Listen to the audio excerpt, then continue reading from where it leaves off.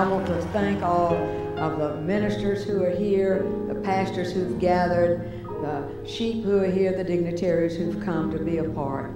This is God's meeting. It's about Him. We have come not only to pray, but we've come to praise His holy name. You put prayer and you put praise together, I'm telling you, it is absolutely a formula that will change everything about us. Let's praise His name.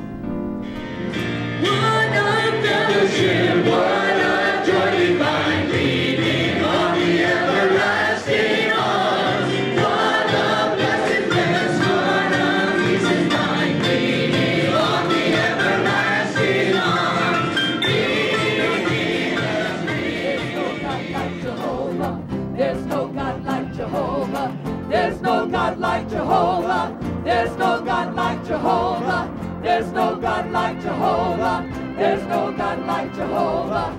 There's no God like Jehovah.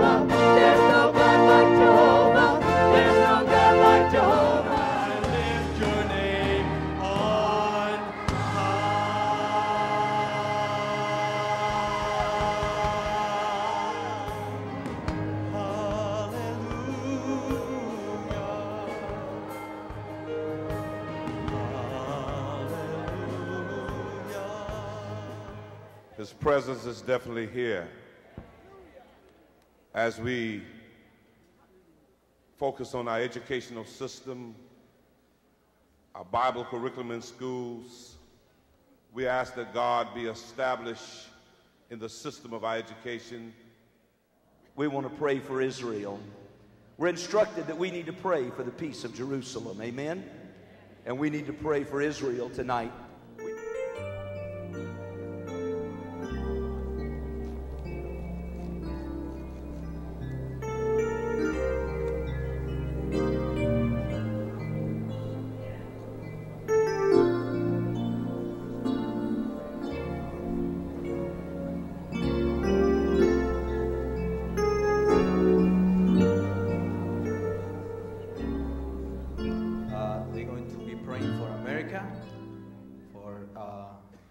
For the America to turn back to God. We're going to be praying for the military and for the protection of the military.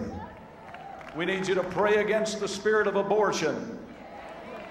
Cry out in repentance for the death of the unborn.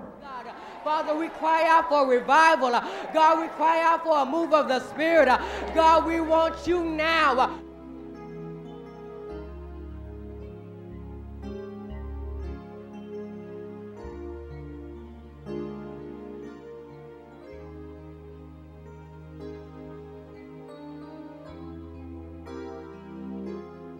And then, God, we bind up that demonic spirit of racism, God. God, we know that there's no color. Right now, hallelujah, pull down that rebellious spirit that are in our children on today, God. I want to pray especially against the spirit of religion that is in this town and county.